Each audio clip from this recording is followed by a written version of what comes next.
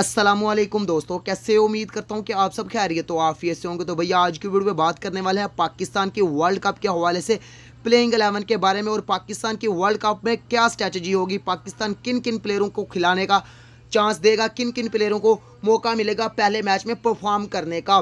तो और आपको ये भी बताएँगे, पाकिस्तान वर्सेज वेस्ट इंडीज़ का जो पहला मैच है वर्ल्ड कप का वो कब खेला जाएगा और पाकिस्तानी टाइम के मुताबिक कितने बजे शुरू होगा और आप इसको लाइव कहाँ पर देख सकते हो? तमाम तफसीलात आपको इस वीडियो में मिलेगी। तो भैया वीडियो को मजीद डिस्कस करने से पहले आपसे छोटी सी रिक्वेस्ट है कि अगर आप हमारे चैनल पर फ़र्स्ट टाइम आ रहे हो तो हमारे चैनल को सब्सक्राइब करके साथ मौजूद बेल आइकन को प्रेस कर दीजिए ताकि स्पोर्ट्स रिलेटेड वीडियो आपको डेली बेस पर मिलती रहे। तो भैया, सबसे पहले बात कर लेते हैं पाकिस्तान वर्सेस वेस्ट इंडीज़ के मैच के बारे में। अगर पाकिस्तान और वेस्ट इंडीज़ के मैच के बारे में बात की तो ये वर्ल्ड कप का दूसरा मैच होगा। पहला मैच मेज़बान इंग्लैंड वर्सेस साउथ अफ्रीका के मबान खेला जाएगा तीस तारीख को।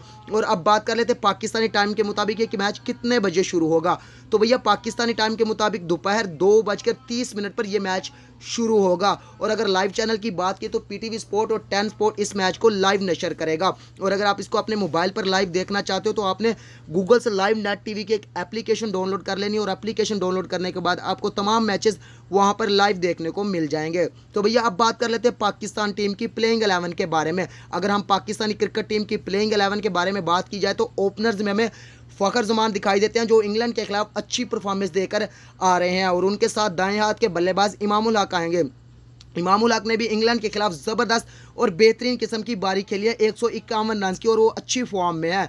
उनके बाद पाकिस्तानी क्रिकेट टीम के रन बनाने वाली मशीन बाबर आज़म का नाम आता है, जो पाकिस्तान के ज़बरदस्त और बेहतरीन किस्म के बैट्समैन और दुनिया के नंबर वन बैट्समैन है। उनके बाद हालिया में कम बैक करने वाले मोहम्मद हफीज़ का नाम आता है, जो इंजरी के निजात पाकर पाकिस्तानी क्रिकेट टीम में वापसी की और ज़बरदस्त किस्म की वापसी की है। उन्होंने इंग्लैंड के खिलाफ अच्छी बैटिंग की है। उनके बाद शुएब मलिक का नाम आता है, जो पाकिस्तानी क्रिकेट टीम के सीनियर्स और ज़बरदस्त बेहतरीन किस्म के खिलाड़ी हैं। उनके बाद आसिफ अली का नाम आता है, जो पाकिस्तान के बिग हिटर और बेहतरीन किस्म के बैट्समैन हैं। उन्होंने इंग्लैंड के खिलाफ दो फिफ्टी कर अपने आप को साबित किया कि वो एक ज़बरदस्त और बेहतरीन किस्म के प्लेयर हैं। उनके बाद कप्तान और विकेट कीपिंग के फ़राज सर अंजाम देंगे सरफराज अहमद, जो पाकिस्तानी क्रिकेट टीम को काफ़ी अरसे से लीड कर रहे हैं, लेकिन वो खातर खा परफॉर्मेंस नहीं दे रहे।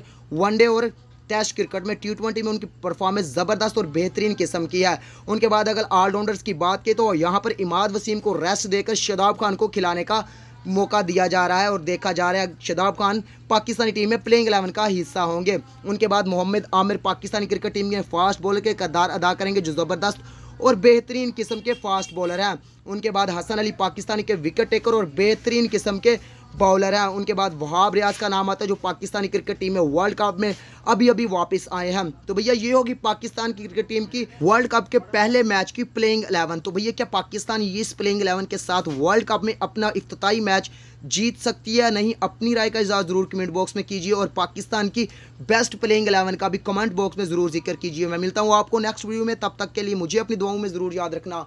अल्लाह हाफिज़।